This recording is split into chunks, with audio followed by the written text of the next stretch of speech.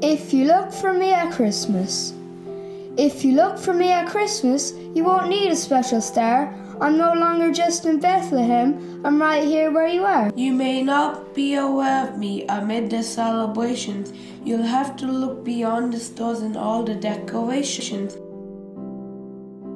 But if you take a moment from your list of things to do and listen to your heart, you'll find I'm waiting there for you. You're the one I want to be with. You're the reason that I came.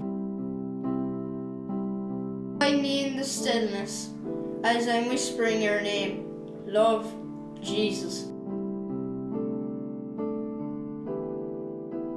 Dear God, we thank you for the birth of your Son and the season of Christmas to celebrate it. We thank you for those who came to visit you that first Christmas and brought gift, the shepherds and the three wise men. Dear Lord, we thank you for the gift of life and good health to enjoy it. We are grateful that we can come to school and, and enjoy the company of our schoolmates.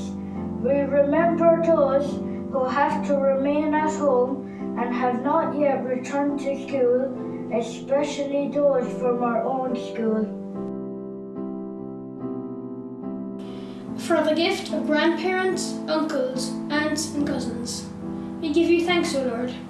Their visits are very special to us at Christmas time. We treasure and value their company so much. We remember in a special way those who cannot visit because of COVID 19, ill health, or long distances. Dear Jesus, you had to leave your own country and travel to Egypt. May all people find peace and a place to stay this Christmas.